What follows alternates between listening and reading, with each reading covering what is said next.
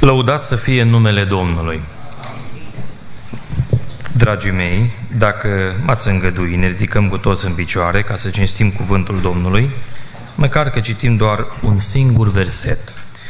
Judecător, capitolul 16, anume versetul 20, pagina în scripturi 279. Judecător 16, versetul 20.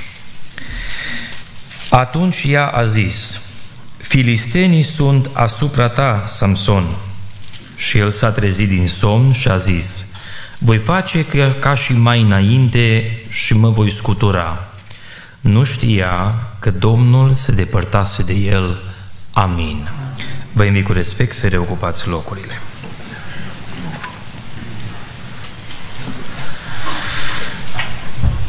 În anul 1912, S-a construit un vapor extraordinar. Au lucrat la el mai mulți ingineri și la oră de atunci era printre cele mai mari vase care fuseseră create. Cei care l-au creat erau așa de convinși de puterea acestui vas și de capacitatea lor de ingineriat, încât se scria în ziar că unul din cei care lucrase la el a spus este așa de performant că nici chiar Dumnezeu însuși n-ar putea să-l scufunde. În aceea primăvară, Titanicul a plecat din Marea Britanie către America și vrea să ajungă la o dată specificată. La un moment dat, într-o noapte când mergeau pe ocean, înspre ora șapte și jumătate, primiseră deja cinci apeluri de la alte vase care erau în zonă. Acele vase au transmis faptul că sunt foarte mulți ghețari, este foarte rece afară și este un pericol foarte mare, reduceți viteza. Unul din vase spunea, a trebuit chiar să ne oprim din înainta, pentru că este prea riscant și nu se vede absolut nimic. La un moment dat, operatorul de la telefonul de atunci, care era în camera aceea specializată, fiind tot bombardat de aceste mesaje, a strigat înapoi, taci din gură și lasă-ne în pace. A mai durat câteva ore și la un moment dat Titanicul s-a apropiat de un ghețar. Nu s-a văzut foarte bine cât de mare era. N-a mai reușit să oprească la timp, a lovit acel ghețar și pentru că de sub era mult mai mare decât era pe deasupra, a rupt bine vasul acesta care ei spuneau că nu poate fi scufundat nici chiar de Dumnezeu. Acest vas mare, în preț de câteva minute, mai puțin de multe ore, s-a scufundat până la fundul oceanului. Dragii mei, ce ilustrează această întâmplare istorică este că atunci când nu luăm în serios lucrurile, riscăm enorm de mult. Dumnezeu a făcut o lucrare extraordinară în dreptul nostru. L-a trimis pe Domnul Isus Hristos să moară pentru noi ca să ne aducă mântuirea. Când spunem lucrul acesta, ne referim la profunzimea acestui lucru, intrând mai adânc în ceea ce înseamnă. Gândiți-vă un picuț că Sfânta Scriptură spune în Psalmul 139 că Dumnezeu cunoaște toate zilele vieții noastre mai înainte să fi fost vreuna din ele.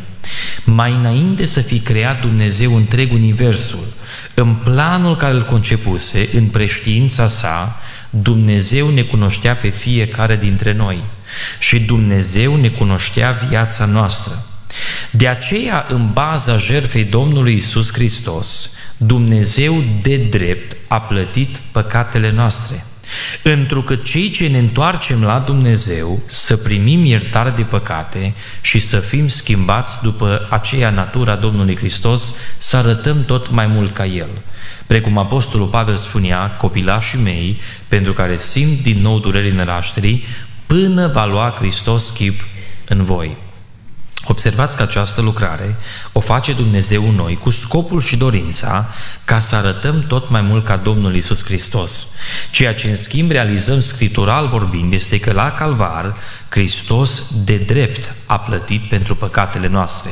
N-a plătit un cec în alb care se aplică atunci când este nevoie la un păcat, Pentru că Dumnezeu, ca un judecător drept, nu poate trece cu vederea păcatele, ci precum un judecător uman care ia la închetă fiecare faptă și o analizează, Dumnezeu a trebuit să plătească în Hristos fiecare păcat individual. S-ar pune o întrebare, de ce ne mai mărturisim atunci dacă oricum Hristos a plătit pentru noi? În conceptul biblic, mărturisirea de fapt înseamnă a vorbi în acord cu Duhul Sfânt, a vorbi în acord cu Dumnezeu. Literalmente asta înseamnă cuvântul mărturisire, a vorbi la fel, adică Duhul Sfânt ne convinge pe noi de păcat și noi trebuie să ajungem la acea convingere profundă că Duhul Sfânt are dreptate. Că dacă nu, avem o mare problemă, îl facem mincinos pe Duhul Sfânt și pe Dumnezeu. Și probabil că aici intrăm pe făgașul acela arhul împotriva Duhului Sfânt. În momentul când noi admitem că Dumnezeu are dreptate, suntem confruntați cu o realitate profundă. Și acum se pune o întrebare, și ce facem? Cine își lasă păcatul și vrea să se scape de el și îl mărturisește și îl abandonează, capătă înaintare și biruință de la Dumnezeu să meargă mai departe. Se produce aceea înnoire și aceea lucrare a pocăinței, schimbarea minții noastre. Dar în Hristos Dumnezeu a plătit pentru aceste greșeli. De aceea, în Cartea Romani, capitolul 11, Apostolul Pavel, la un moment dat, are o exprimare, a zice eu, explozivă de bucurie. Și spune în versetul 33, O adâncul bogăției, înțelepciunii și științei lui Dumnezeu, cât de nepătrunse sunt judecățile Lui și cât de neînțelese sunt căile Lui. Și, în adevăr, cine a cunoscut gândul Domnului sau cine a fost sfetnicul Lui? Cine i-a dat ceva întâi ca să aibă de primit înapoi? Din El, prin El și pentru El sunt toate lucrurile. A Lui să fie slava în vecii vecilor. Amin. Dragii mei, motivul pentru care Pavel exclamă această bucurie este tocmai pentru că a înțeles ce lucrare profundă de mântuire a lucrat Dumnezeu în Hristos. De aceea noi numim aceasta bucuria mântuirii după Sfânta Scriptură. De aceea creștinii ar trebui să fie cei mai bucuroși oameni din lume, pentru că noi avem garanția vieții veșnice în Domnul Isus Hristos. Problema este că noi, în natura noastră umană, pervertim lucrurile frumoase ale lui Dumnezeu. Și prin urmare, ceea ce se întâmplă, în special în era aceasta mai modernă, este că s-a creat așa un spirit extrem de triumfalist în care noi am creat un concept despre Dumnezeu, că ne-a mântuit Domnul că așa nu putea El fără noi, că Dumnezeu așa de îndrăgostit era de noi încât nu putea fără noi. Dați-mi voie să vă spun ceva. Dacă Dumnezeu nu mântuia pe absolut nimeni, Dumnezeu era bucuros în sine toată eternitatea. Dumnezeu nu are nevoie de noi. Dumnezeu în dragostea Lui și în bunătatea Lui ne-a extins și nouă har să ne facă părtași bunătății sale. Dar Dumnezeu, dragii mei, nu are nevoie de noi. Dați-mi voie să vă spun ceva. Dacă noi nu ne rugăm, Dumnezeu tot pe tron rămâne. Dacă noi nu-i cântăm cântări de slavă, Dumnezeu tot pe tron rămâne. Dumnezeu are tot ce are nevoie. Noi suntem datori să ne închinăm înainte lui Dumnezeu, pentru că Lui este toată slava, cinstea și onoarea lăudat să fie Domnul. Asta înseamnă că pe mine asta mă responsabilizează, mă umilește și mă arată starea mea înainte lui Dumnezeu. De aceea văd o mare problemă în conceptul acesta, în special american. Nu că îi batem pe americani întotdeauna și ne scăpăm de dureri prin a-i acuza pe ei, dar apare această mentalitate care s-a observat concepută în spațiul american și tot mai des infiltrând în bisericile române pentecostale din America, din Canada și durerea mare este că și în România apare tot mai des. Și am să vă spun aici pe scurt un lucru care eu îl observ și aș vrea să vă fac o atenționare personală. Fiți foarte atenți la muzica care o ascultați. Când vorbim despre cântările frumoase care Dumnezeu le-a dat pentru noi, ni le-a îngăduit să le avem prin care să-L preamărim pe Dumnezeu, să știți că trebuie să fim atenți la sursa lor, la conținutul lor, la elementele muzicale, e important să fim atenți. Nu e un studiu despre muzică și intrăm în mesajul în această seară în curând. Dar vreau să fac această remarcă ca să ne reîntoarcem înapoi la acest concept al triumfalismului. Există o cultură acum în America, în spațiul evanghelic, în care s-a creat o evanghelie extrem de ieftină. O evanghelie care pretinde că Dumnezeu nu poate fără noi și Dumnezeu are nevoie de noi. Această evanghelie așa numită Noua Reformă Apostolică, ca să înțelegem înțelegeți erezia care se prezintă, spune printre altele, ca de exemplu, astfel.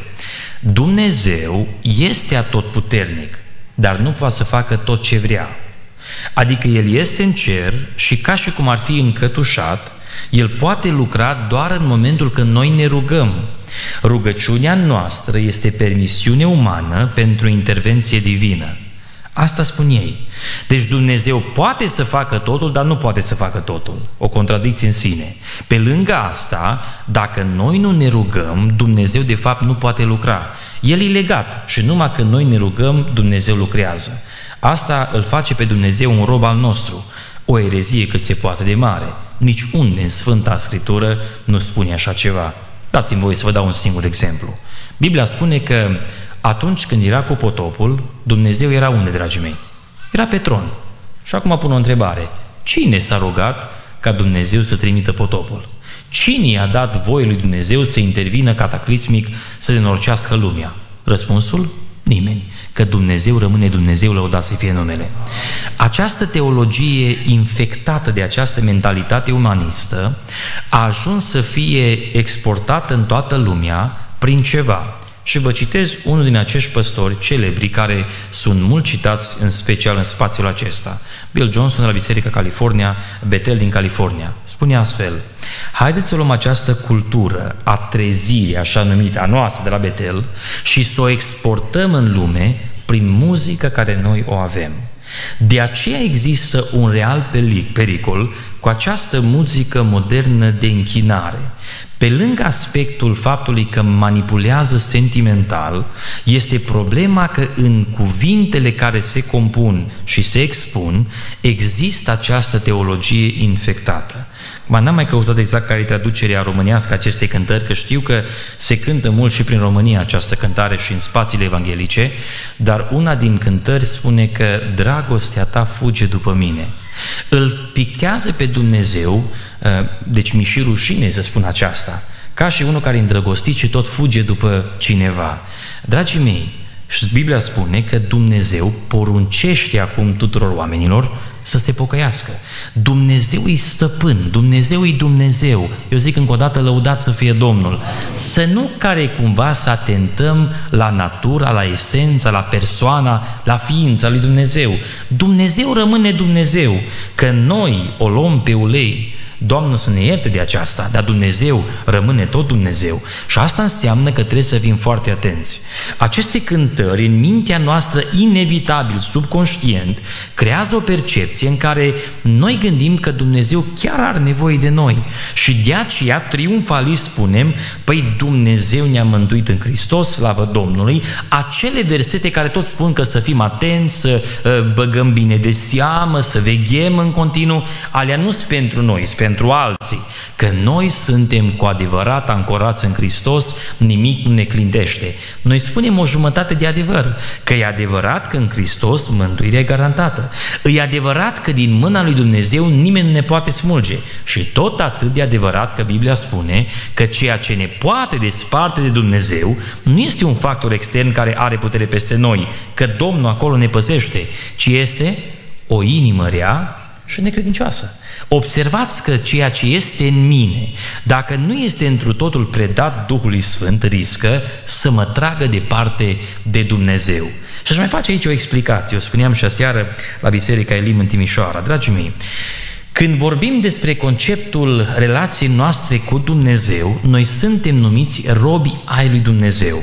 Noi nu suntem egali cu Dumnezeu. E adevărat că Biblia spune oricine crede în El, i s-a dat dreptul să se facă copil al lui Dumnezeu. Dar dinamica prin care noi ne vedem în relație cu Dumnezeu, suntem robi ai lui Dumnezeu. Și robul nu are voie să facă absolut nimic decât ce îi dă voie stăpânul. Vă dau așa un exemplu pragmatic. Să spunem că cineva, precum în vremea antică, avea robi și spune unui, unui rob, tu stai aici, la colțul acesta lângă ușă, trebuie să stai acolo. Și el stă acolo. Și vine cineva și spune, mută-te mai încolo. Robul ce spune? Nu pot. Nu, nu, dar tu n-ai înțeles, pleacă, du-te mai încolo, tu, tu nu ești din casă oricum, du-te mai încolo. Și spune, dar nu pot. Și să se răstește la el, mă, nu ți rușine, pleacă de aici, mută-te de aici, că tu nu ești a nostru oricum. N-am voie, nu pot. Robul și dacă ia bătaie, tot n-are voie să iasă din voia stăpânului. Pentru că stăpânii i-a spus, stai acolo. Dacă se mută de acolo, problema nu e cu cei din jur, e cu stăpânul care stă peste el.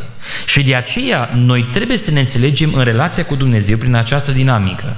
Sloganul libertate în Hristos și liber în Hristos este, revin, o jumătate de adevăr. Pe când Hristos ne-a eliberat, dar de ce aș întreba? anume de puterea păcatului, de stăpânirea păcatului în viața noastră, Hristos niciunde n-a dat voie ca noi acum liberi în Hristos să facem orice vrem.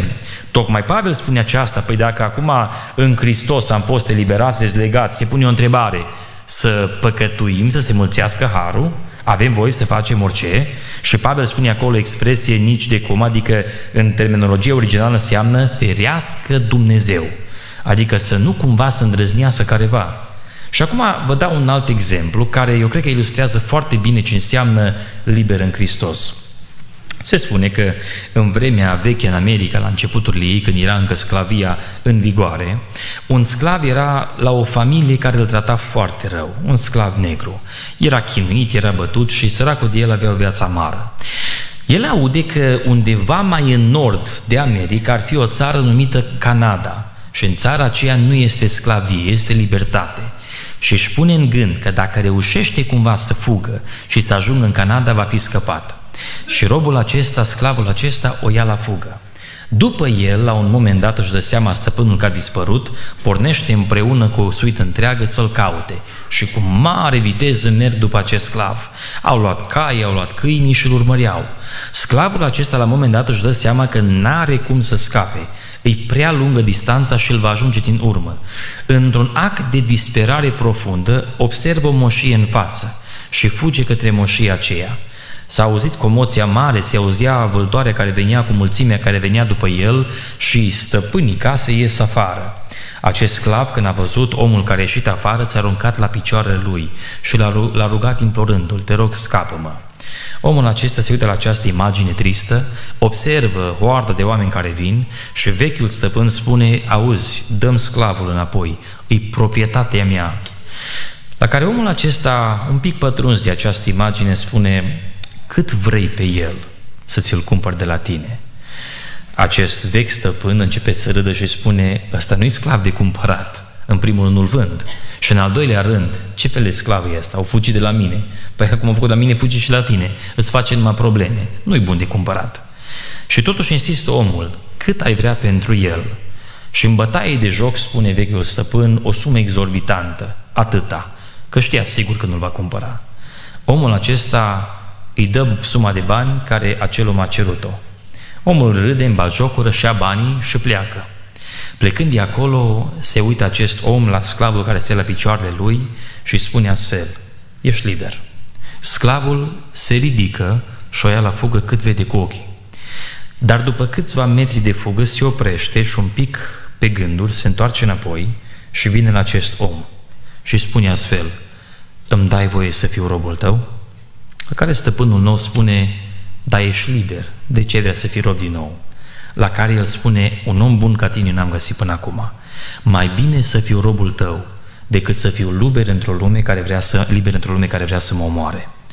Dragii mei, Iisus Hristos ne-a scăpat de sub sclavagia păcatului, de sub puterea păcatului care domina peste noi – mai fac încă o paranteză și iertați-mă că poate prea multe, dar cred că ilustrează ce vreau să vă spun.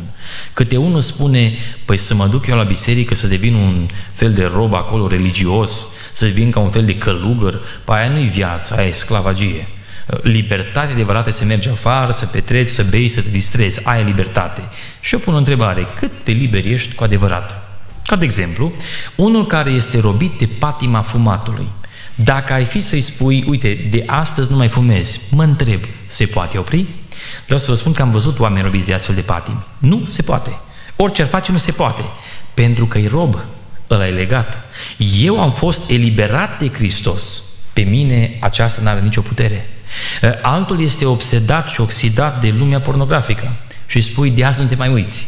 Și dacă se leagă cu blestem și jurământ, după câteva zile îl biruie pofta și iară cade, pentru că e rob. Adevăratul om liber este cel care a fost eliberat de Domnul Isus Hristos. În schimb, când Hristos te-a eliberat, te-a eliberat cu un scop, să devii rob al neprihănirii. Doamne ajută la aceasta. Adică noi văzând că am fost scăpați, ne dăm de bunăvoie robi ai lui Dumnezeu și de azi înainte nu mai putem permite să facem cu noi ceea ce vrem noi. Ca al minte spunea Apostolul Pavel, Duhul Sfânt luptă împotriva firii pământești și firea pământească împotriva Duhului. Sunt lucruri potrivnice unora altora. Și acum vine răspunsul sublim. De aceea nu puteți face tot ce voiți.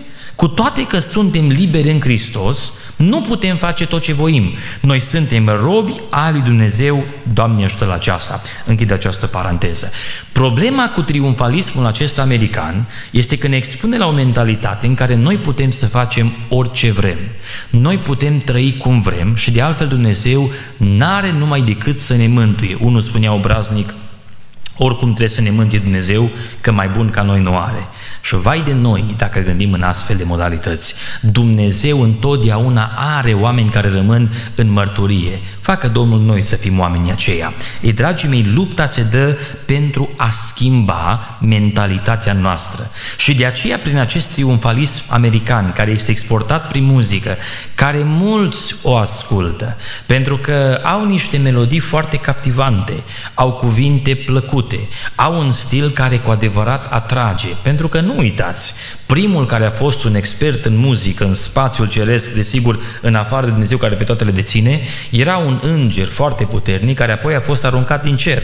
Mă gândesc că diavolul știe câte ceva despre muzică, nu de alta muzică are așa putere și așa influență. Și prin această muzică exportată se face o mare manipulare emoțională și apoi pe fondul acesta nu rămâne nimic altceva decât un gol înăuntru și o experiență faină la biserică.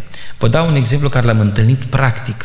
Am fost într-o adunare invitat odată pentru un timp de stăruință. Eram împreună cu fratele păstor Vasile Hozan și câțiva ani buni în urmă. Am ajuns acolo și o echipă era în față, a început să cânte.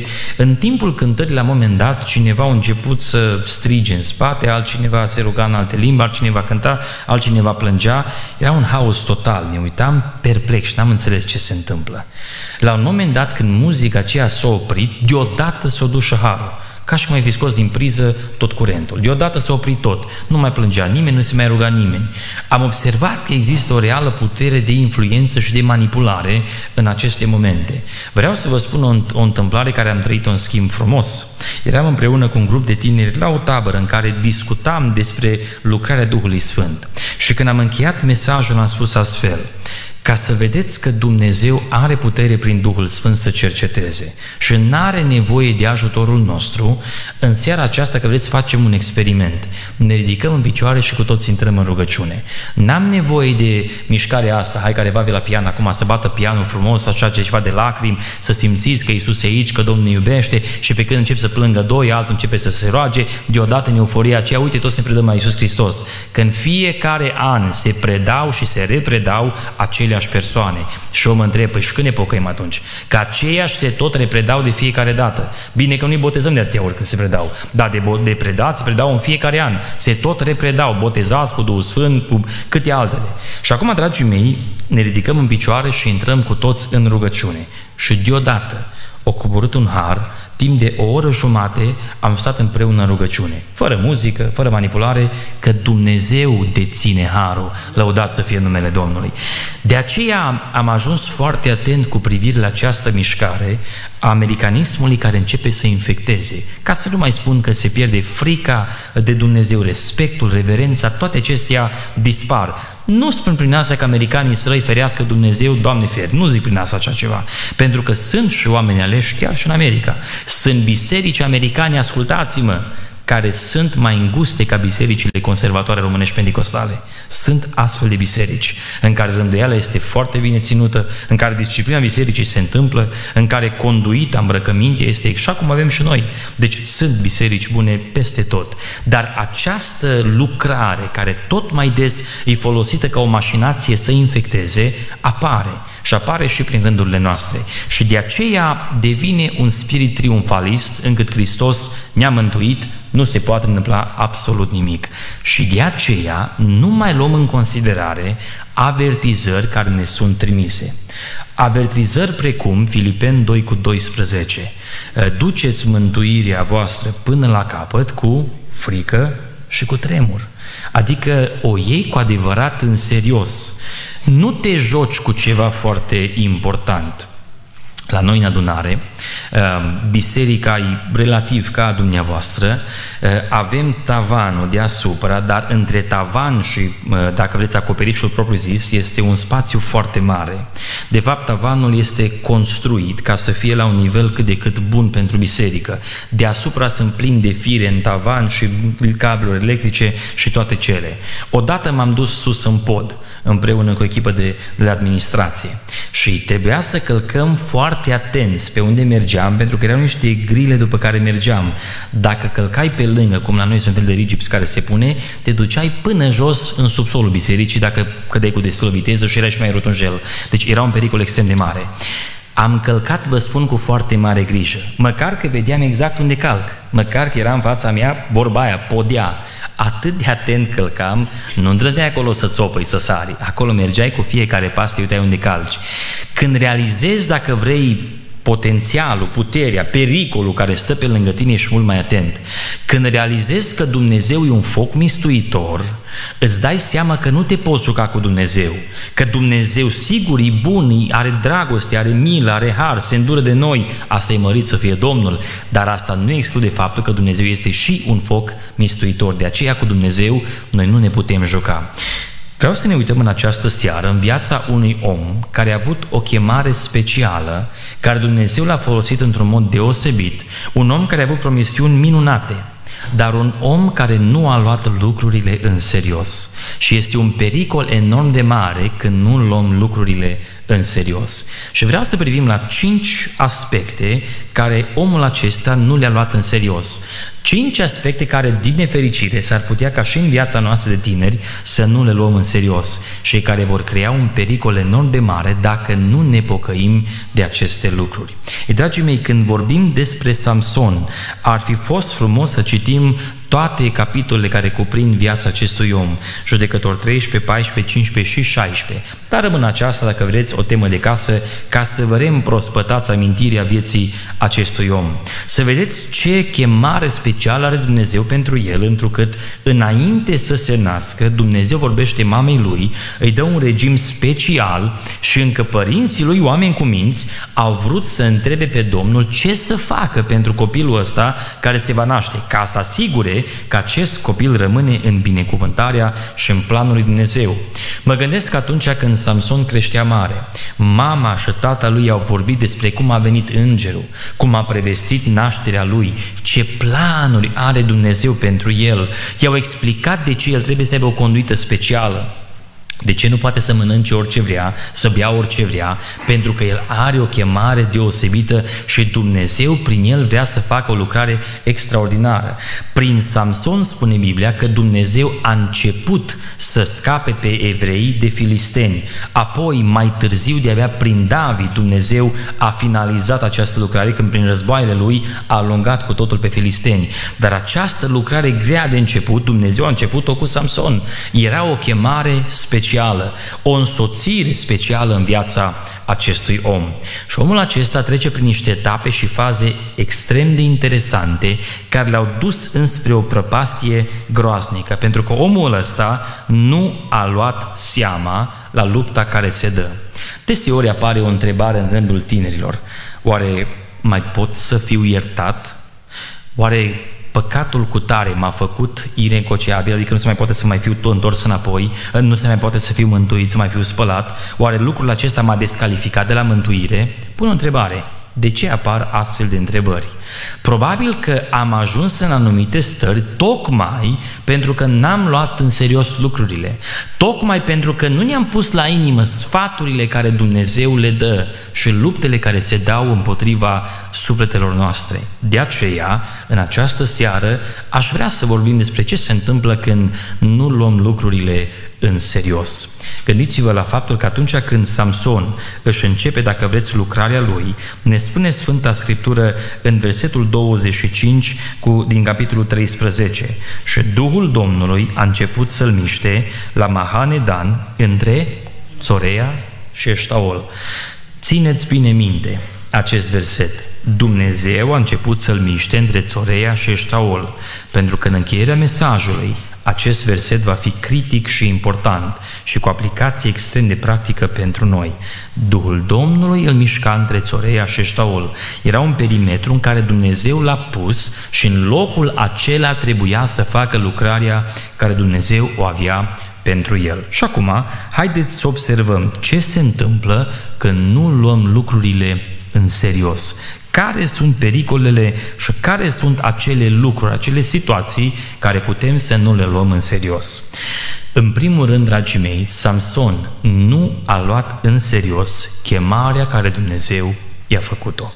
În Judecător 13 cu versetul 5 spune astfel, căci vei rămâne însărcinată, vei naște un fiu, briciul nu va trece peste capul lui, pentru că acest copil va fi închinat lui Dumnezeu din pântecele mamei lui și el va începe să izbăvească pe Israel din mâna filistenilor. Chemarea pentru Samson era să fie o unealtă în mâna lui Dumnezeu pentru a izbăvi pe Israel din mâna filistenilor. Mă uit la omul acesta în decursul vieții sale, când nu a luat în serios chemarea lui Dumnezeu. Gândiți-vă numai la un aspect, poate două. Păi, în primul rând, Samson avea un legământ de naziriat. El era închinat lui Dumnezeu. Și prin urmare, dacă mama lui n-a avut voie să mănânce struguri, să bea din rodul viței în timpul vieții lui Samson, eu vă pun o întrebare. Ce-o căutat Samson la viile din Timna? Ce căuta Samson în locul în care nici n-avea voie să fie? Dacă n-avea voie să mănânce sau să bea din rodul viței, ce căuta el la vii? Uh, dacă n-avea voie prin chemarea sa de sfințire, de consacrare pentru Dumnezeu să se apropie de vreun trup mort, ce căuta Samson să treacă pe la trupul mort al leului? Ce-a căutat Samson acolo? Samson a fost omul care n-a luat în serios chemarea lui Dumnezeu pentru viața lui. Și vreau să vă spun în această seară că Dumnezeu a hotărât ca în dreptul fiecăruia să fie o chemare specială. Nu întotdeauna această chemare se și exprimă vizibil într-un mod în care toți o văd, dar fiecare are o chemare din partea Domnului să fie un om în adunarea lui Dumnezeu. În 1 Petru, capitolul 4, cu versetul 10, Apostolul Petru spune astfel, ca niște buni spravnici ai harului felurit al lui Dumnezeu, Dumnezeu, fiecare din voi să slujească altora după darul pe care l-a primit. Cine? Fiecare dintre voi. Deci fiecare are o chemare de la Dumnezeu și fiecare primește un dar. Revin, nu toate acestea sunt vizibile. Sunt anumite daruri care sunt mai vizibile. Desigur, uh, un dar de predicare este extrem de vizibil că prin natura lui de obicei stai în fața publicului. Un dar de prorocie te expune pentru că oamenii aud cuvântul de prorocie. Uh, anumite daruri sunt mai vizibile, dar să știți că sunt daruri de care biserica are nevoie și nu sunt foarte vizibile. De exemplu, o inimă specială pentru a face bine, pentru a da o mână de ajutor cuiva. Este și asta un dar de la Dumnezeu. Dați-mi voie să vă dau un exemplu frumos care mi-aș dori să văd tot mai multe astfel de exemple. La noi în biserică avem o tânără, aproape de 20 de ani, care s-a apropiat de soția mea și a spus, aș vrea să vă ajut pentru lucrarea lui Dumnezeu și vreau să fac și eu ceva pentru Domnul. Dăm voie să te ajut împreună pentru copiii care aveți. Dacă ai nevoie să mergi la cumpărături, dacă ai nevoie să faci ceva, eu vreau să stau împreună cu copiii tăi. Uh, revin să vă spun că eu am nouă copii. Uh, nu am doi, nu am trei, n-am unu, n-am cinci jumate. Eu am nouă copii. Și nouă copii nu e ușor să îngrijești de ei. Când zic nouă copii, mă refer că sunt nouă copii destul de apropiați în vârstă. Cel mai mare are 13 ani, cel mai mic are un an. De acum, în câteva zile, va face un an de zile. Nu e ușor să stai cu atâția copii. Uneori nouă ca părinți ne greu să facem față doi împreună la toți nouă copii. Și fata aceasta spune, eu vreau să mă îngrijesc de ei. Am putut veni împreună cu soția mea în România pentru aceste zile de slujire, pentru că această fată tânără a spus, eu rămân copiii voștri. Și ea stă noaptea cu ei, ea îngrijește, că a spus, eu vreau să fac asta pentru Domnul. Dacă am îndrăznit să-i spunem, uite, dă nevoie să facem ceva și pentru tine, ea spune, nu, Asta este slujba mea pentru Dumnezeu. Vreau să mă dedic și eu pentru Domnul, să fac ceva pentru El. Mă întreb, câte tinere ar fi dispuse să facă așa ceva sau câte tinere fac așa ceva? Câți băieți fac ceva frumos pentru cei din comunitate? La noi, de exemplu, în Canada nu e chiar situația. Cam toate casele sunt încălzite pe uh, gaz, nu este altfel. Dar în România încă sunt situații în care se încălzesc prin lemne, e nevoie de lemne și e surprinzător când auzi tineri care, în loc să meargă să taie lemne la frații mai bătrâni din biserică, la o văduvă, la cineva care e bolnav, merg și ridică la fiare cât e nevoie să facă mușca și Samson. Mă întreb, de ce nu facem mușchi cu toporul în mână? Ca să ajutăm pe cineva. De ce nu ne dedicăm să ne punem în slujba lui Dumnezeu? Observați, fiecare are o chemare, fiecare are un dar de la Dumnezeu și are un talent care Dumnezeu îl dă. Îți dă Dumnezeu o voce extraordinară. Pentru ce ți-a dat vocea aceea?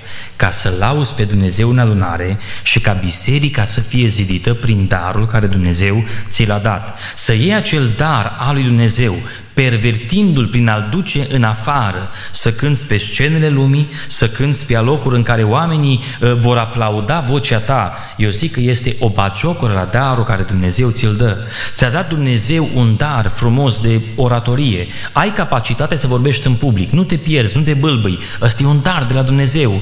În loc să spui darul în slujba Domnului, să stai pe lângă frații care au viziune din partea lui Dumnezeu și te pot crește pentru o lucrare a lui Dumnezeu, tu mergi și faci comedie la colegi și faci să râdă. Bă, și ești cel mai comic din, din clasă. Nu-i nimeni ca tine. Dacă tu lipsești, nu este petrecere. Observați că luăm darurile Domnului și le punem în slujba celui rău. Samson avea o chemare specială și Samson n-a luat în serios chemarea lui Dumnezeu.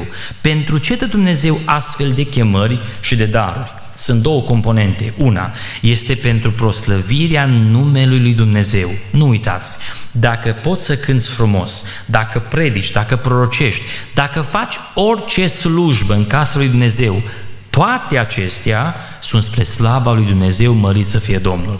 Nimeni nu are voie să spună, acum vă rog aplaudați-mă că mi se atribuie și merit, nu? Am făcut o slujbă bună pentru voi, hai măcar un pic de apreciere. Nimeni nu are voie.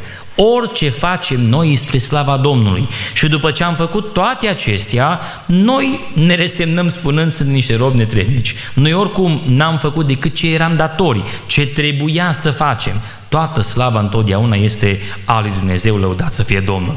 Și în al doilea rând, aceste daruri mai au un scop specific. Spune în 1 Corinteni, capitolul 14, cu versetul 26, dacă nu greșesc, că dacă unul are o cântare, o descoperire, o prorocie, un cuvânt de învățătură, o vorbire în limbă, o tălmăcire, toate să se facă spre zidirea sufletească. Scopul este ca aceste daruri să ajute biserica să crească. Știți cum arătăm noi, dacă vreți, ca și biserică al lui Dumnezeu? Uh, spune Biblia că noi suntem zidiți ca niște pietre vii. V-aș da o ilustrație. Sunt acei pereți frumoși care sunt creați din pietre uh, tot felul de forme, care când le pui toate la oaltă într-un mod specific, creează un tot unitar foarte frumos.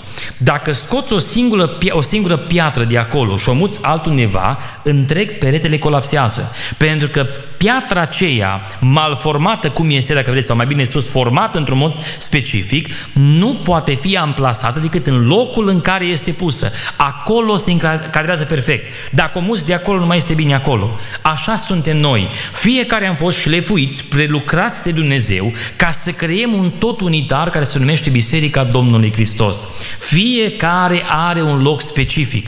De aceea spune Biblia că fiecare să rămână la chemarea care Dumnezeu i-o dă.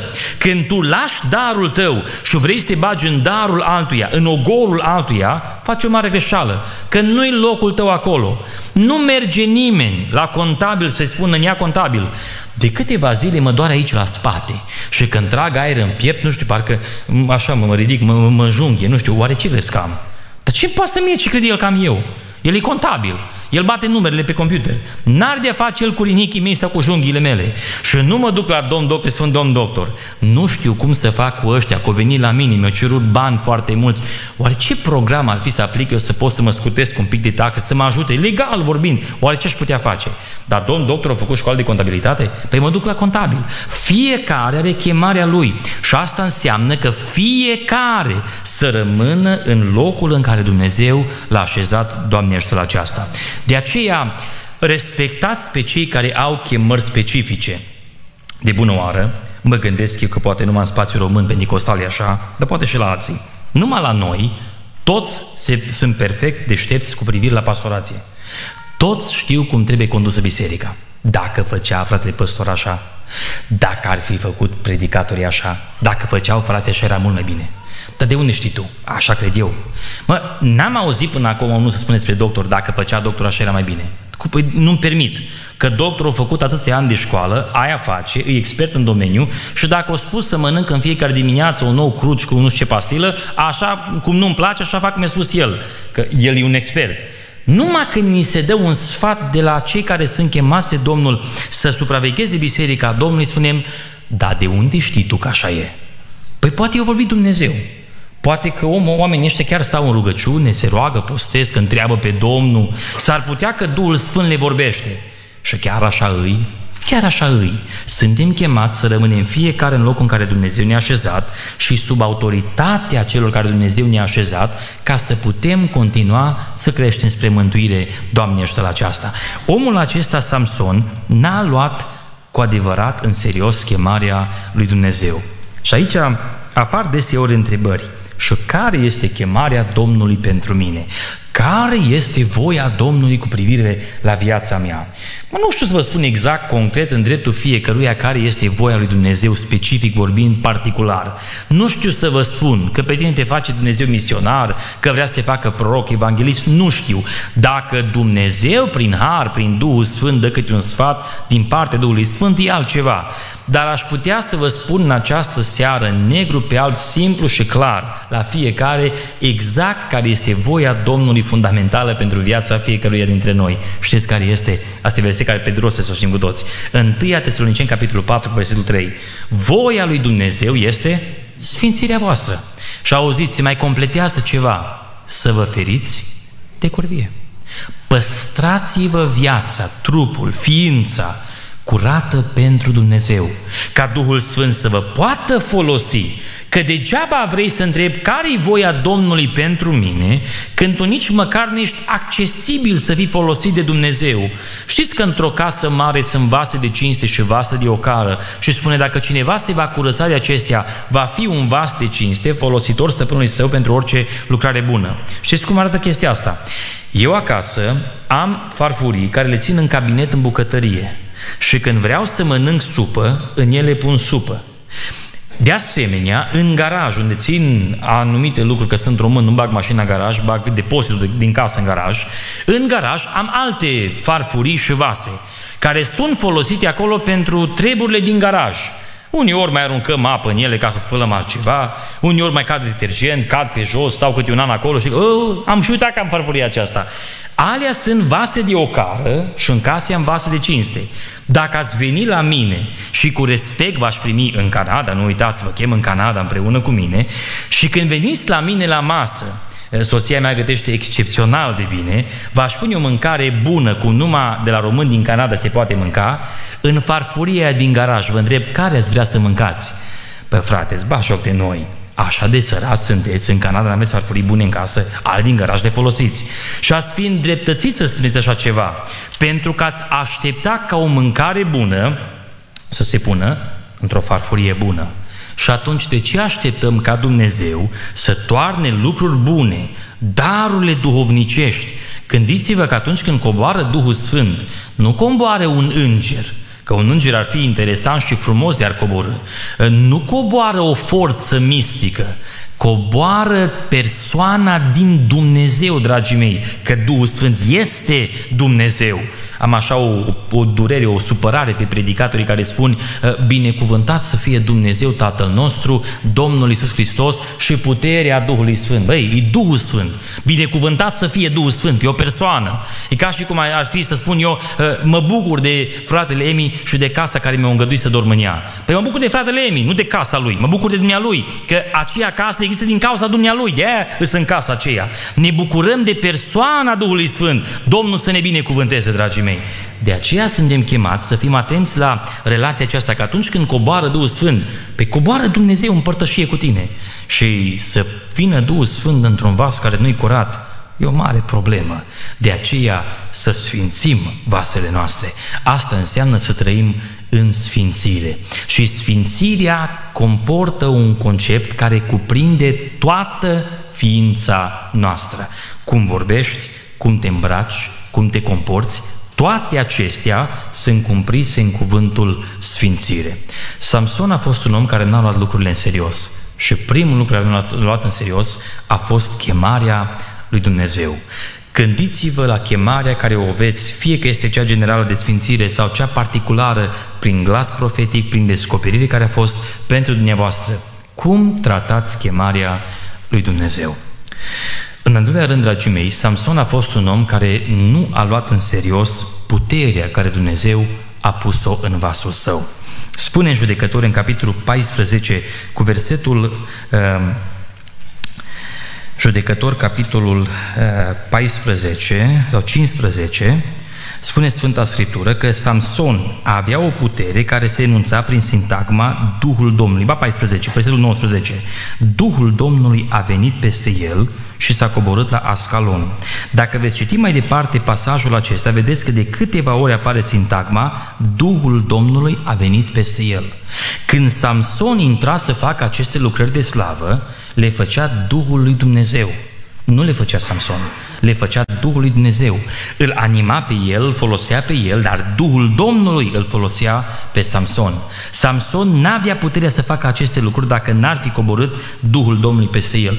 Tot în 14 cu versetul 6, Duhul Domnului a venit peste Samson și fără să aibă ceva în mână, Samson a sfâșiat un leu. Observați, omul acesta avea putere pentru că Duhul Domnului era peste el. Și Dumnezeu, peste fiecare dintre noi, a investit puterea sa, a investit harul său. De ce tratăm acest har lui Dumnezeu ca o jucărie? Pentru că aminte de un băiat care era tânăr și la un moment dat avea un comportament ciudat. Și discutând cu el, întrebându-l despre felul în care se comportă, el îmi spune, știi că eu sunt botezat cu Duhul Sfânt? Știi că eu vorbesc în alte limbi? Dacă vrei să-ți arăt, poți să vorbesc acum în alte limbi. Ca și cum pe mine mă impresionează că el vorbit în alte limbi. Pentru că așa făceau și cei din Corint, dragii mei. Și foloseau vorbirea în alte limbi să justifice trăirea lor în fața altora. Fiți foarte atenți, dragii mei, și nu bat jocoriți lucrarea Domnului prin a o folosi ca unealtă să ne justificăm anumite comportamente.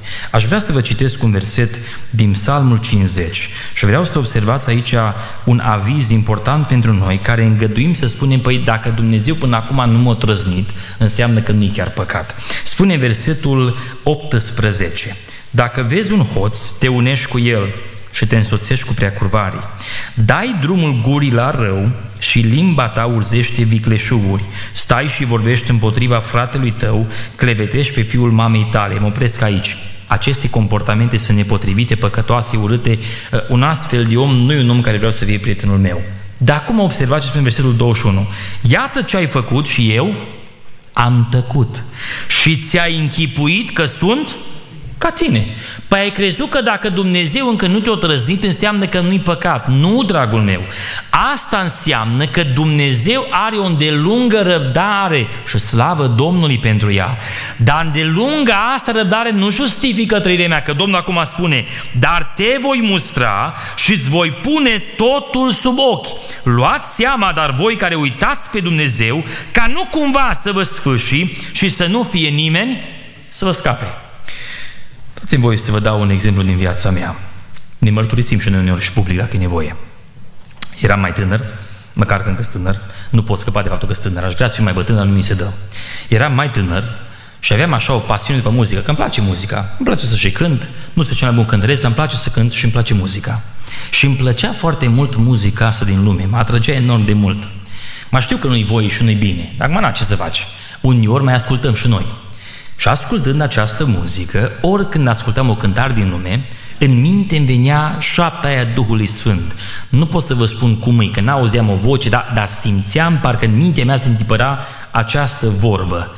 Lauda mea este pentru împăratul. Cum poți să spui tu că lauda e pentru împăratul, că tu nu asculți cântări care nu glorifică pe împăratul? Și spuneam, Doamne, iartă-mă că e adevărat, te rog să mă, mă mărturiseam, Doamne, te rog să mă ierți, că ești păcătos, sfințește mai milă de mine și treceau câteva zile și iar ascultam și iar venea aceeași voce, lauda mea este pentru împăratul. Și eu tot așa am avut conflictul ăsta în mine o perioadă de timp. Aș mai adăuga că în timpul acela am avut, aș spune eu, o obsesie cu filmele. Că apar multe întrebări, dar chiar e un păcat dacă te uiți la un film, hai mergi în iad că te-ai uitat la un singur film. Ehm, eu vreau să vă spun la această întrebare, să vă răspund la această întrebare prin niște principii foarte simple. Nu știu dacă ultima oară când am fost le-am spus, dar vi le spun încă o dată și dacă e a doua oară, vă vă este de folos. Dragii mei, ca și creștini, vă întreb, avem voie să curvim sau nu? Da sau nu? Nu. Nu sunteți convinși. Avem voie sau nu? Nu. Negru pe alb. De la Genesa până în Apocalipsa, asta e clar categoric. Ca și creștini, avem voie să înjurăm cuvinte porcoase, murdare. Voie? Nu. Ca și creștini, avem voie să ne batem cu alții. Câte unul care îi place karate, așa face mușcă, e așa animat, ar, ar, ar, nu-i voie, dar fiind stare. Îi voie sau nu-i voie? Nu-i voie. Nu-i categoric, nu-i voie. Ca și creștini, îi voie să bem, să ne drogăm. Hai să bem, revenim la asta, îi voie să bem. Vă spun eu nu, asta categoric e nu. Categoric e nu. N-aveți argument biblic.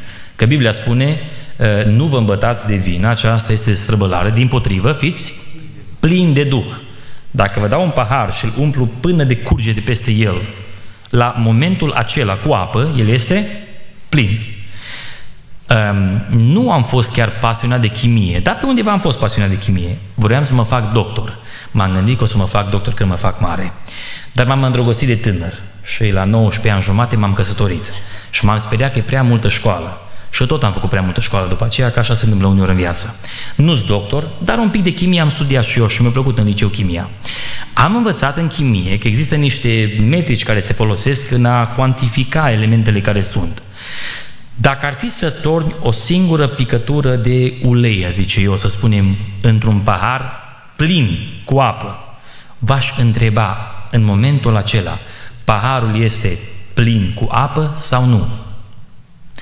Noi am spune că e plin cu apă, evident, dar molecular vorbind nu mai este plin cu apă. Pentru că în structura chimică s-a introdus un element care nu este apă. Și printre toate moleculele covârșitor 99,9999% care sunt numai apă, este un element care nu este apă. Nu mai este plin de săvârșit. Așa e cu plinătatea Duhului Sfânt. Ori ești plin cu Duhul Sfânt, numai că aici nu încape pe jumătate cu Duhul Sfânt și trei sferi cu diavolul. Nu încape. Ori ești plin cu Duhul Sfânt, ori Duhul Sfânt se retrage de la tine.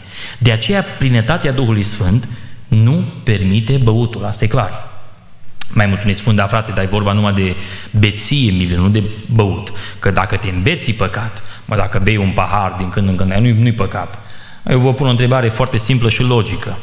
Garantați-mi mie careva că nu se îmbată cineva Garantați-mi dacă puteți. Păi eu vă spun categoric că cine bea un singur pahar nu poate garanta absolut deloc că nu se va îmbăta. Eu pot să vă garantez că n-am să mă îmbăt deloc. Motivul pentru care pot să vă garantez că eu nu beau nici măcar primul pahar. Și dacă n-am băut primul, n-am cum să mă îmbăt, că n-am început. Dar după ce ai băut unul, cine îți garantează că nu bei și pe al doilea? Nu mai ai cum să garantezi. Și acum mă reîntorc. Abia e păcat. Nu-i voie. Și acum mă întorc înapoi la filme. Bun. Un film e păcat sau nu e păcat? Păi, a colivi păcat, a bate păcat, a înjura păcat, a bei păcat, a omori păcat, toate sunt păcat.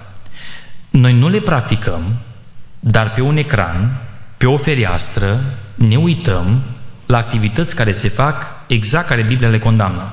Ca și cum ai fi la casa cuiva și de uiți prin geam ce face omul acela în casă. Fel de fel de acte la care tu te uiți. Nu-i voie să faci așa ceva. Și acum pe un alt ecran, pe un alt geam, tu te uiți ce se întâmplă acolo. Participi, devii părtaș cu acele lucruri, te unești cu aceste persoane, te unești cu preacurvarii, te unești cu aceste acțiuni, apoi te infiltrează fel de fel de stări și apoi te întrebi de ce n-ai putere. De ce în tine nu mai activează Duhul Sfânt? De ce în viața ta nu mai mișcă Domnul? De ce nu mai vin vedenii, prorocii? De ce se întâmplă aceste lucruri? De ce te biruie orice fel de ispită? Pentru că aceste lucruri au ajuns să fie înmagazinate în inima ta. Eu am așa o expresie. Dacă intră gunoi în tine, gunoi iese afară. Automat. Ceea ce pui în tine, aia te va însufleți. Și atunci vă spun, dacă noi la astea ne uităm, mă întreb, ce vrem să iasă afară din noi? Aleluia și slava Domnului? Avem un frate în biserică pe nume fratele Vasile Vanciu. El e tata vitric al fratelui Gabi Gorcea. Și el spune așa, frate Andrei, eu am acasă un televizor cu 66 de canale, de la Geneza până în Apocalipsa, deschid acolo și mă uit în cer la Dumnezeu și stau cu Domnul și noi așa ne să zâmbim, na, fratele Vanciu cu Biblia lui. Da, da, asta înseamnă, cu cât mai mult Biblia intră în inima ta, cu atât mai mult asta ne sufletește. Despre fratele Simeonuc Marit se spune că mersese la un moment dat într-o familie. Fratele Simeonuc era cel care știa aproape pe de rost mare parte din Biblie. Mersese la o familie și spune sorii de casă, soră, ai cumva un medicament, că am un cusur la cap. Da? Nimeni nu spune că ai cusur la cap, mă doare capul, e foarte simplu. Dar fratele Simeonuc așa de pătruns era de cuvântul Domnului, încât expresia uzual de zi cu zi era inundată de cuvântul lui Dumnezeu. Am un cusur la cap. Și apoi ne mirăm când noi, de exemplu, mergând pe șosea, ne tai unul care vine să spunem cuvinte colorate și ne frate, mi-a scăpat. Nu ți-a scăpat, o ieșit afară, că era acolo. Că de nu era acolo, n-avea cum să iasă afară. Uitându-te la ele, te pătrund și eu te întreb, ar fi normal să te uiți la filme sau nu? Închid paranteza lungă. Și mă întorc la mine. Îmi plăceau filmele, îmi plăcea să mă uit. Știam că nu-i bine, mă mărturiseam, mă pocăiam iară și Dumnezeu în harul lui rabdă și rabdă Dumnezeu și rabdă Dumnezeu, că Dumnezeu e bun cu noi și ne lung răbdător. Dar Dumnezeu în același timp e un Dumnezeu drept și sfânt. Și Dumnezeu vrea pocăința noastră. Și la un moment dat, Dumnezeu care mi-a tot vorbit, ai grijă, pocăiește, fii sfânt, fii curat, fii atent, nu m-a expus ca să mă facă de râs, că înțeleg Dumnezeu că nu creează. Dar Dumnezeu care e deștept și care e sfânt și care a tot înțelept în înțelepciunea Lui, într-o zi intervine El și îngăduie Dumnezeu o situație încât n-am dormit aproape o lună de zile, n-am mâncat, am slăbit, cred că vreo 5 kg în două săptămâni, performanță mare. Vreți dietă? N-aveți nevoie de așa ce vă spun în viața mea, să treceți pe acolo. N-am dormit, n-am putut mânca, criză majoră. M-am mărturisit de tot ce mi-am adus aminte de când eram prunc. Doamne, dacă mai rămas ceva, mi-am făcut și mi-am refăcut mărturisirea în toate formele. Dacă era nevoie să mă duc la oricare, la oricare m-aș fi dus. M-am dus la păstorii mei, m-am rugat cu ei, le-am spus, am început, dacă era nevoie să și să inventez păcate, numai să mă scap de situația aceea. Dragii mei, după aceea prelucrarea lui Dumnezeu, am înțeles personal că Dumnezeu e cu adevărat sfânt și Dumnezeu vrea sfințenie în viața noastră. Vreau să vă spun că nu sunt nici legalist, nici fanatic, nici conservator prin definiție, că m-au făcut alții conservatori, așa de bine la conservatori. Eu personal am ajuns la convingerea personală că Dumnezeu e sfânt, dragii mei. După acea experiență, măcar că eram pregătit în domeniul profesional tehnic, mi-a fost frică să deschid computerul două săptămâni.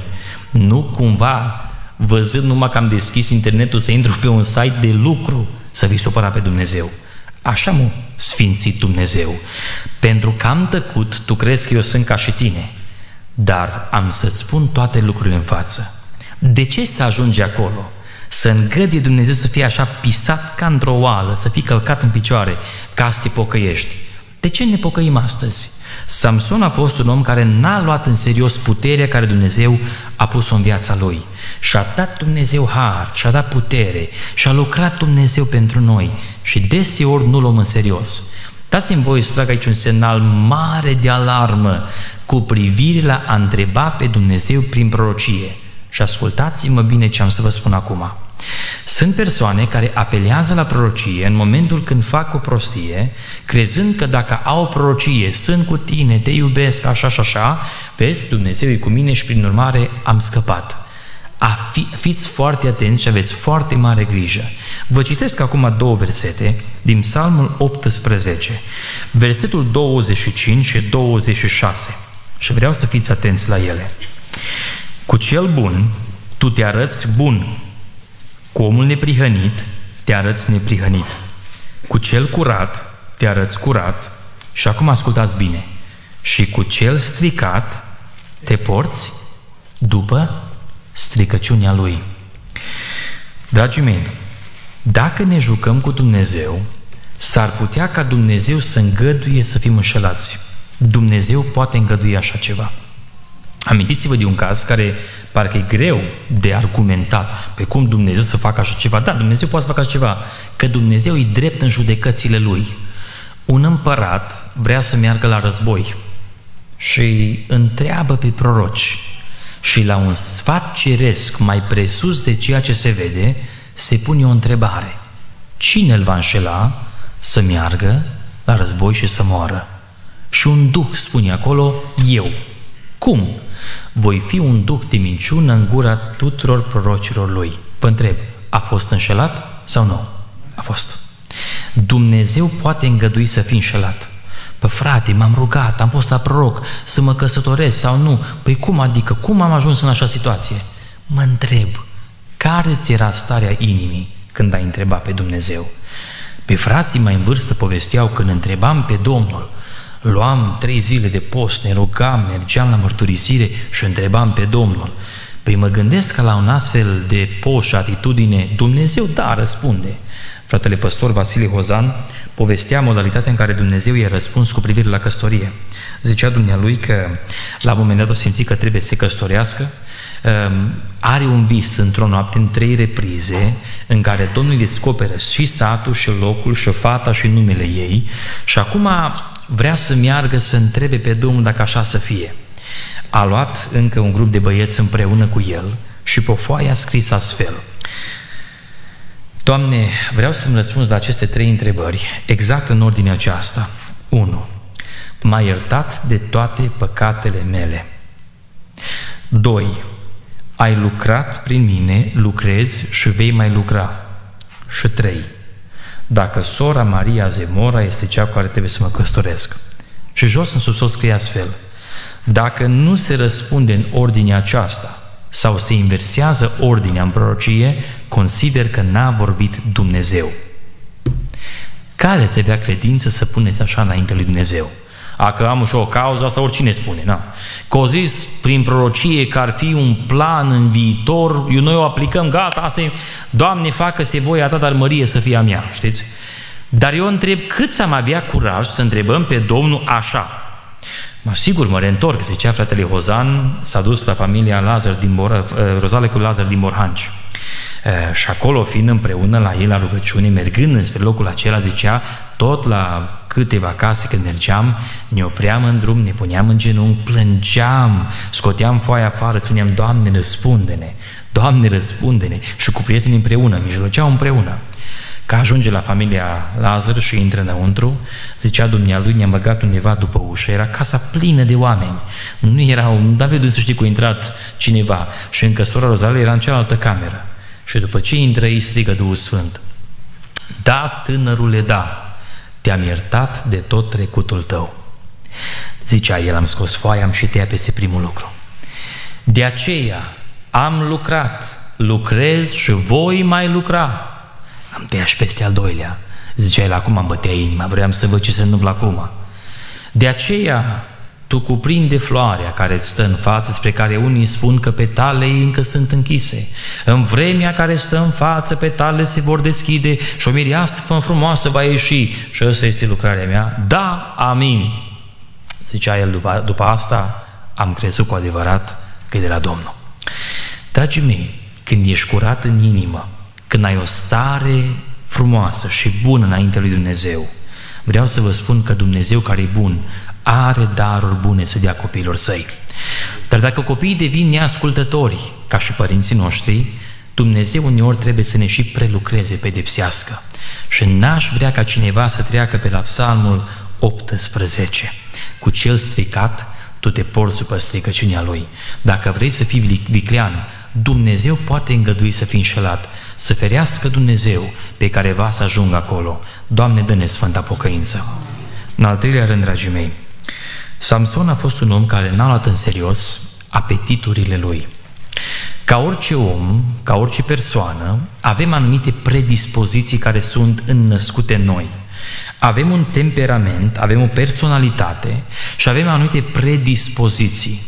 Unii spun, în special în spațiul acesta al homosexualilor, păi eu așa m-am născut. Na, m-am născut homosexual, zice câte unul. Ce poți să-mi faci mie, ca așa m-am născut? Eu aș extinde mai departe. Toți ne-am născut morți în păcatele noastre. Toți ne-am născut așa. De aceea, Biblia spune, trebuie să vă nașteți din nou. N-aș admite că cineva se naște homosexual. Dar, dragii mei, toți ne-am născut cu rădăcina păcatului în noi. Uitați-vă care aveți frățiori mai mici acasă. Intră în camera ta, îți ia lucrurile de pe masă și ți le rupe. Și tu spui, băi, cine mi l-a rupt? Și el spune, nu mine. Dar numai tu erai acasă, eu am fost plecat, el ați fost plecați. Nu mine. Dar cine le-a rupt? Vasile. Nici măcar nu avem pe Vasile în casa noastră, nimeni în casa noastră Vasile. Nu mine. Eu vă întreb acum, părinții dumneavoastră v-au învățat să mințiți? Biserica Betel din Arad? Mi-ar fi greu să cred așa ceva. V-au învățat părinții să mințiți? Sau i-au învățat să mintă? Nu. De ce mint copiii de la doi anișori?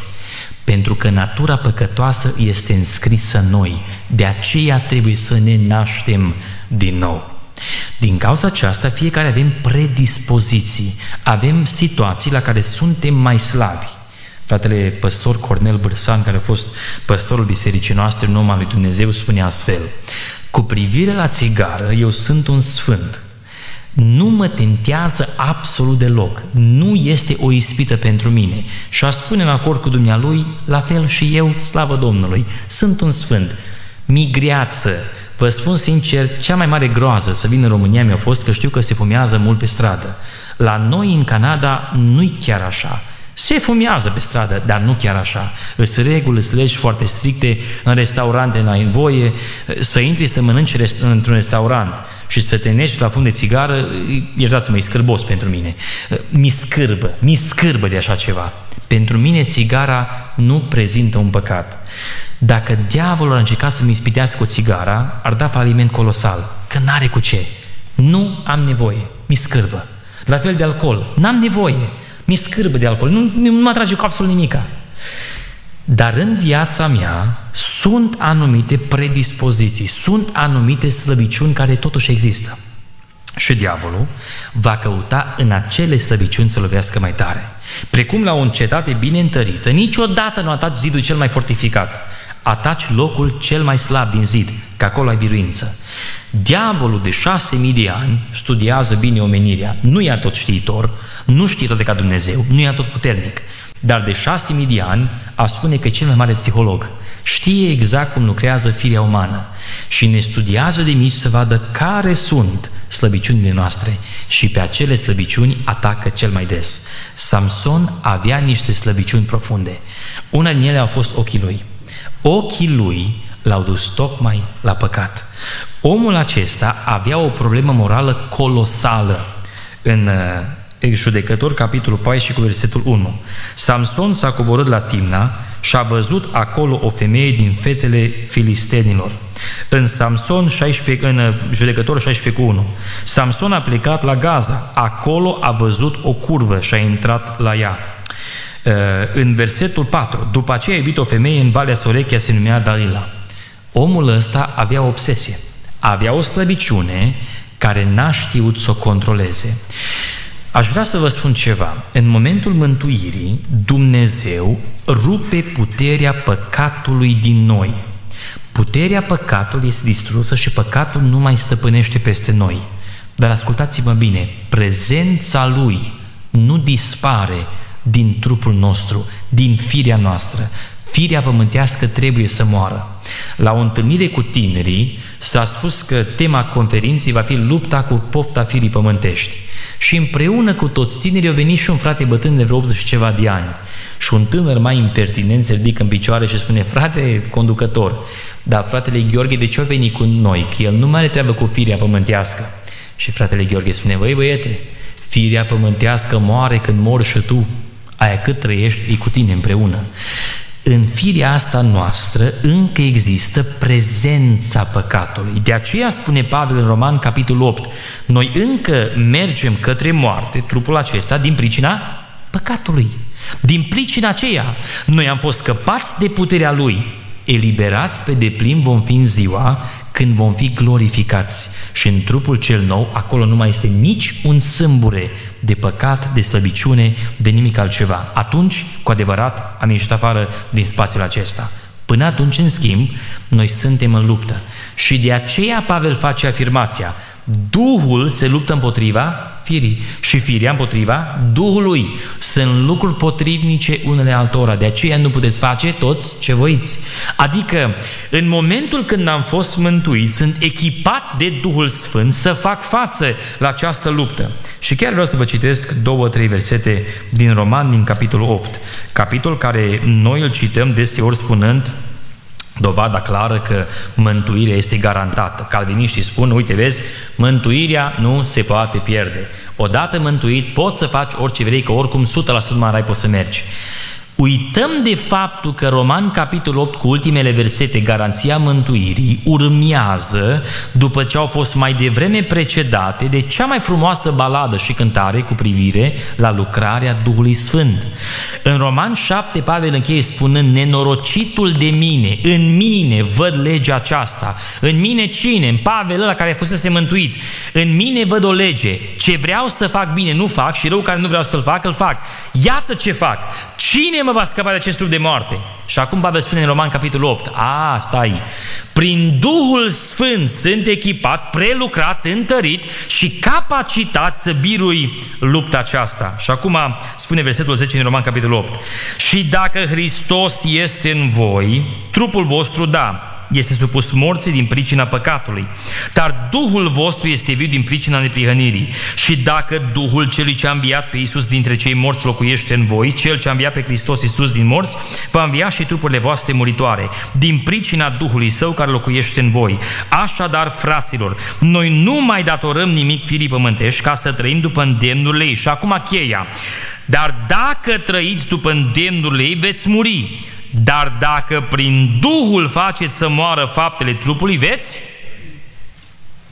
trăiești în momentul în care Duhul Sfânt omoară mădularele acestea. Patimile, poftele, numai Duhul le poate omorâ, numai Duhul le poate conține. Tu nu poți face asta. Ce poți face tu este să cedezi Duhului Sfânt. Știți cum am înțeles eu Roman, capitolul 8? Spuneam astfel, Aici în România n-am văzut încă, pentru că probabil încă n-ați ajuns încă la nivelul acela de dezvoltare precum este în Occident. Dar la noi, de obicei, un câmp mare nu rămâne câmp pentru multă vreme. Îl cumpără un multimilionar din ăsta care din el face case peste tot. O, noi o numim o subdivizie. Ia lotul acela imens, îl proporționează mai multe loturi pentru case și primul lucru care îl face după ce trage firele de curent, face șosea după care, când avem șosea, începe să sape, să toarnă, să pună fundații și în timp se construiesc case. Evident că șoseaua asta este complet nouă. Până acum încă nu au reușit să pună semne de circulație, nu s-a specificat cum va fi acolo, pentru că e nou, nouț. Din cauza aceea, eu acum vin înspre casa mea și de pe o stradă pe altă stradă, în loc să ocolesc toată subdivizia, păi am un drum nou. Și uite că pot să tai prin el.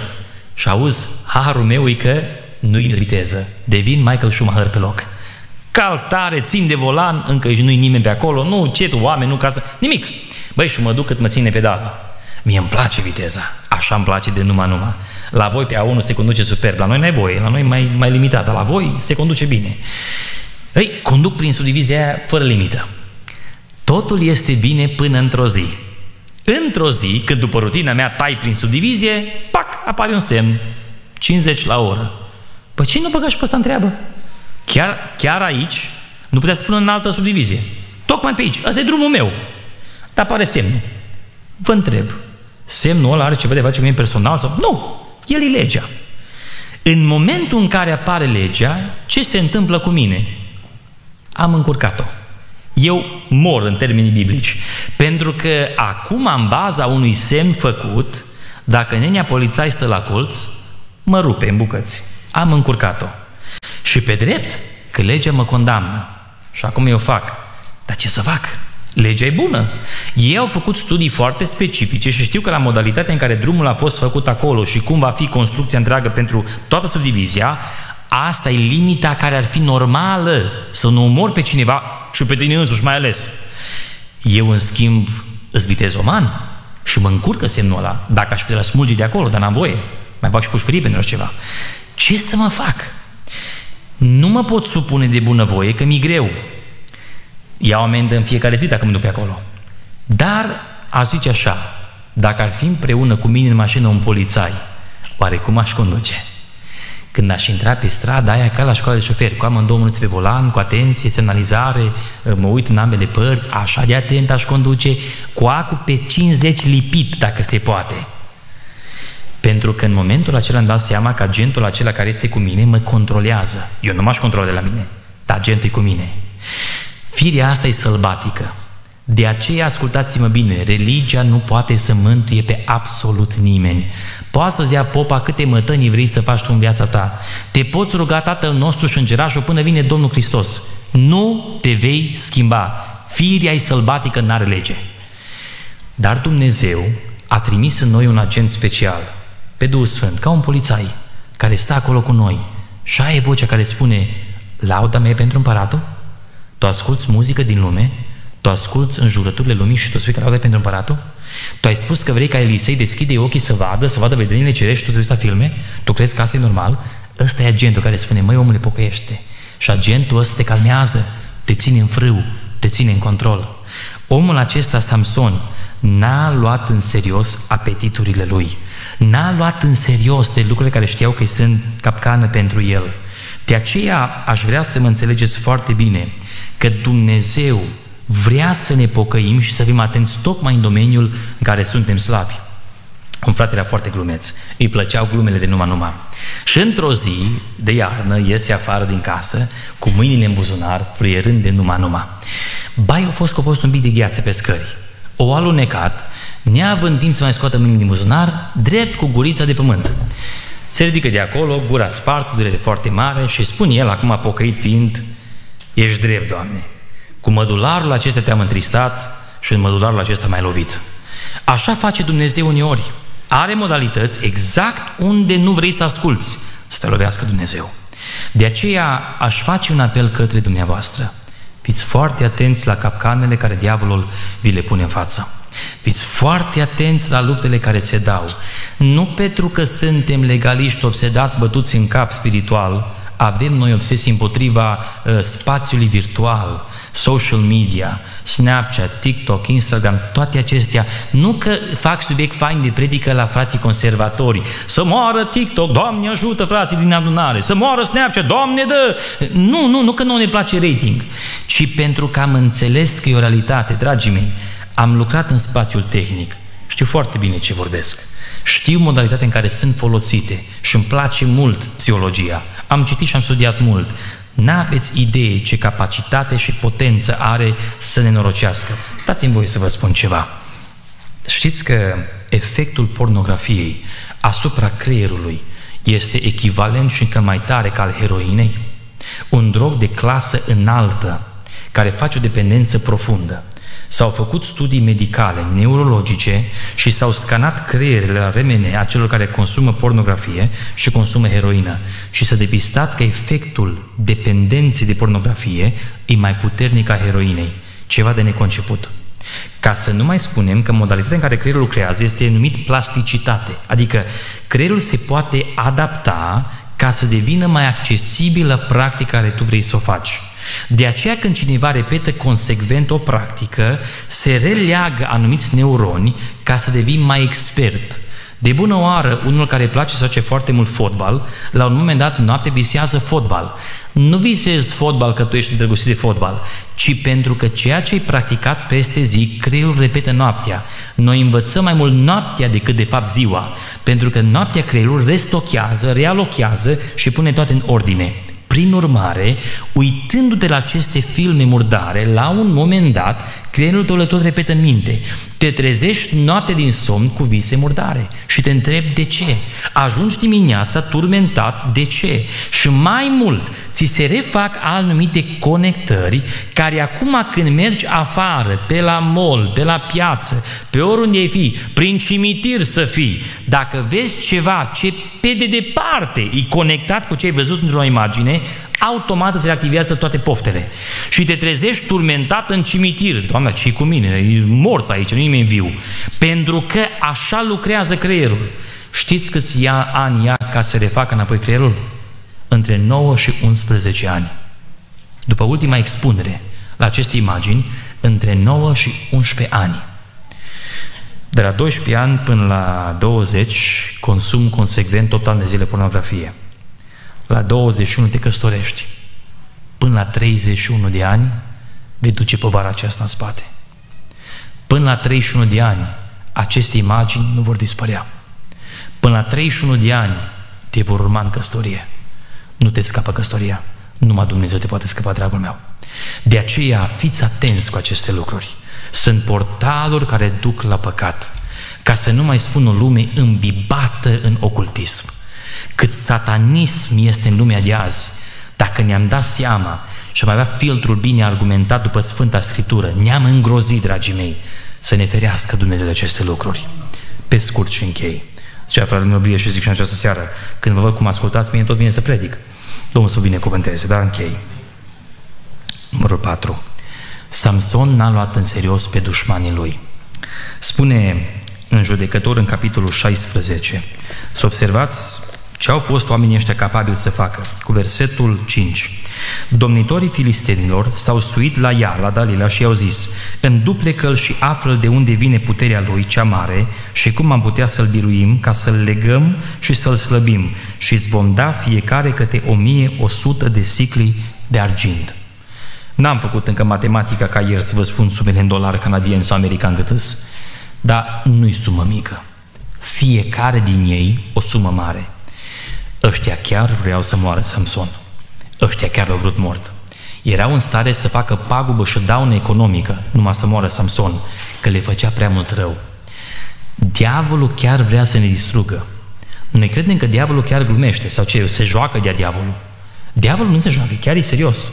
Diavolul chiar vrea să ne omoare, să ne distrugă, să ne, ne prăpădească. De n-ar fi har lui Dumnezeu de mult, ne-ar fi prăpădit cel rău. Dar Dumnezeu prin har ne păzește și ne ține harul său. Mărit să fie Domnul pentru asta. Dar nu vă jucați cu harul lui Dumnezeu. Vă dau un exemplu la care am fost martor. În anul 2012, împreună cu o grupă de tineri, de băieți, eram la trei zile de post necurmat. Am inițiat tabără de post împreună cu băieții și ulterior fetele ne-au spus, nu-i drept, numai voi postiți și noi avem voie să postim. Ba da, și am făcut și cu fetele. Separat băieții, separat fetele, trei zile post, rugăciune, citire din cuvânt, meditare, băieții punem să dea îndemnuri, studiem cuvântul împreună, un timp de pregătire spirituală. În timp ce eram acolo, era fratele pastor Vasile Hozan împreună cu echipa, eu am venit doar sâmbătă, erau plecat de vineri până duminică. Soția mea era gravidă, trebuia să nască exact în zilele acelea. Și am zis, ok, vin strict cât e timpul ăsta de rugăciune. Ajung sâmbătă, stăm peste zi la rugăciune, stăm în părtășie la oaltă și Duhul Sfânt confirmă că cere ca mai mult să vină la mărturisire. Au ieșit băieții unul pe altul să duc la mărturisire. La un moment dat, înspre seară, fratele Vasile Hozan vin înapoi sus în cameră, era o cabană închiriată, în cameră cu un băiat și îl ținea de mână, un băiat mare cât un munte, și cu un scaun după el. Pune scaunul în mijlocul camerei, îl pune pe băiat pe scaun și spune așa, Acum veți vedea ce v-am tot spus și v-am învățat, că aceste păcate murdare creează nu doar dependențe, ci pun demoni în inima voastră. La rugăciune toți. Toți uluiți, nu, hai, la rugăciune. Doamne Iisus, nu de noi, mai cu ochii deschiși, mai cu ochii închiși, ce, ce cu chestia asta? Băiatul stă pe scaun, nu zice absolut nimic. Fratele Ozan începe, ieși afară din el demon necurat. Ieși afară din el duh necurat. Hm, băieții mai așa, mai așa. La un moment dat, băiatul acesta pune capul jos și cade complet pe jos. A început să zbiere, să facă spume la gură, vomita verde, toate variantele urâte, cam filme de groază. Trei ore a durat rugăciunea aceea. După trei ore de rugăciune, fratele Hozan se apropie de el și șotește ceva la ureche și o pleacă jos. Tot s-a panicat. O plecat apostol și a rămas singur cu demonizatul. Ăsta, în schimb, se pune pe scaun, pe uh, canapea și nu zice absolut nimica. Nu mă făcea semne tot din mână, dar nu mișca deloc. Dar nu zicea un cuvânt. Eu trebuia să plec, mă duc până jos. Frate Vasile, ce ai făcut? I-am spus că trebuie să fie legat până la ora 12 noaptea. Și la ora 12 noaptea să iasă afară din el. La 12 fix o ieșit dracu din el. Toată ziua cât a fost rugăciune, citire din Biblie, n-a putut să pună mâna pe Biblie. Nu s-a rugat. N-a citit un verset. Nu putea să citească, era legat. Din seara aceea a fost dezlegat. A început să citească, s-a rugat, s-a căsătorit. Aș vrea să vă spun că e o poveste frumoasă. Dar noi, pentru că după câțiva ani de zile, o casă care este eliberată, dar rămâne goală, din nefericire se poate reumple cu șapte duhuri mai rele. Și acel băiat, acum bărbat, căsătorit, a fost din nou cuprins de o legiune de demoni. Și a căzut mai rău. Și mi milă, mi se rupe inima. Că noi credem că diavolul chiar glumește de diavolul, se joacă de diavolul, așa gâdilă din când în când. Dragi, dragii mei, diavolul vrea să ne omoare, vrea să ne distrugă. Asta nu mă face să stric, voi leu, cine îmi face? Nu, nu. Dumnezeu ne apără. Câtă vreme rămânem unde Dumnezeu. Explicam băieților mei, voi sunteți păziți de puterea lui Dumnezeu prin credință. Noi avem o grădină afară și gard de jur împrejur că suntem români. Primul lucru când un român cumpără case în Canada, America, pune gard. Noi, nu vecinii afară și noi în casă, Doamne ajută. Pune gard. Am pus gard, bine, așa, privat, nu vede nimeni. Și zic la băieții mei ca să le explic. Știți cum, măi? Dacă afară ar scăpa un leu, citisem acum recent că în Italia un leu a scăpat de la grădina zoologică, se plimba pe stradă. No, aia spaimă când ieși afară din casă dimineața cu cafea în mână. Dacă era un leu pe afară, pe șosea, te-ai teme? Nu. Câtă vreme sunt în grădină, a, și închisă și poarta, n-am nicio frică. Răcnească leu cât vrea că eu sunt în perimetru de protecție. Dar dacă am ieșit afară din perimetru, voi leu, Doamne ajută, fieți milă de mine. Că mă mâncă leu. Practic vorbind, câtă vreme rămâi în perimetru în care este Dumnezeu, ești păzit de puterea Lui prin credință. Dar când te depărtezi de Dumnezeu, prin aceste ispite și tente și pofte, ajungi să mergi către păcat. De aceea, dragii mei, să ne ferească Dumnezeu, să nu luăm în serios adversarul cu care avem de-a face. Nu că ne temem de el sau că îi dăm credit, ci realizăm că e o luptă crâncenă pe viață și pe moarte. Nu viață umană, viață spirituală. Și în ultimul rând, a omul acesta Samson n-a luat în serios pe stăpânul său. Și asta a fost cea mai mare tragedie. Recitesc versetul care am început. Atunci ea i-a zis, filistenii sunt asupra ta Samson. Și Samson s-a sculat din somn și a zis, 16 cu 20, voi face ca mai înainte și mă voi scutura. Traduc. Dumnezeu e cu mine. Eu sunt copil de familie de pendicostali. Tata a fost proroc, tata a fost păstor, bunicul a fost în comitet, mama a fost vaste lucru. Sunt membru în Biserica Betel, biserică de referință în România. La noi Duhul Sfânt, la noi Domnul, ne avem păstori, ne avem pe mine, nu, Dumnezeu e cu mine. Asta a spus Samson. Mă scol, mă scutur, oricum Dumnezeu e aici. Și poate cel mai tragic lucru care l-am citit în Biblie. Și nu știa că Domnul se depărtase de el. nu vă jucați cu Dumnezeu. Se estimează că la potop erau în jur de 1,4 miliarde de oameni. Alții estimau, după genetică, puteau să fie 11 miliarde. Nu știm. Cert e că erau mulți, mulți. Că în vremea aceea se făceau prunci cu droaia. Așa era sistemul genetic. Câți oameni au scăpat la potop? Opt suflete. Și Dumnezeu care stă în cer, a cărui dragoste fuge după noi, după cântările americane, care nu mai poate după noi, a omorât bărbați, femei, copii, nou-născuți, bătrâni, non-discriminatoriu. I-a nimicit pe toți, inclusiv animalele toate. Dragii mei, nu vă jucați cu Dumnezeu. E Sfânt Dumnezeu. Și dacă Cel ce ne-a chemat este Sfânt, fiți și voi sfinți în toată purtarea voastră. Nu vă jucați cu Dumnezeu. Să nu vă măguliți că Dumnezeu nu are mai bun ca noi, că Dumnezeu are mulți mai buni ca noi. Că încă ne rabdă pe noi, măriți să fie Domnul, care încă îndelungă răbdare.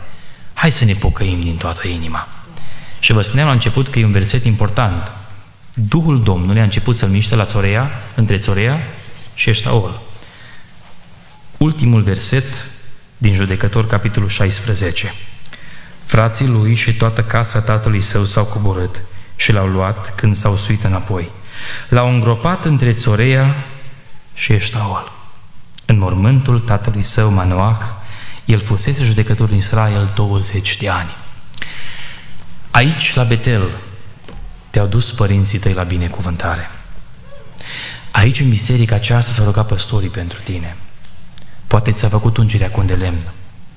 Mama ta a pustit, a plâns, s-a rugat, tatăl tău a mijlocit să te facă Dumnezeu un lucrător, să te facă un vas de lucru, să devii un om pe umerii căruia în viitor să se pună povara lucrării din biserica aceasta. Între Țorea și Eșteol te-a așezat Dumnezeu. Știți care este cea mai mare tragedie, dragii mei? Plecăm în lume, ne distrăm, ne jucăm cu păcatul și când moare de supradoză de droguri, știți unde se întoarce cel sicriu? Între Țorea și Eștaol. Trist că nu-i pentru mântuire, ci doar ca să mângâiem familia. Și în loc să fi fost acel om care în cei 20 de ani de slujire, să fi fost un om al lui Dumnezeu, de care biserica să se bucure, să dea laudă Domnului, să se cinstească numele lui Dumnezeu, devii tragedia care în același loc în care trebuia să stai cu minte, rămâi doar amintirea a unui dar irosit din partea lui Dumnezeu. De ce să rupeți inima bisericii? De ce să frângeți inima lui Dumnezeu?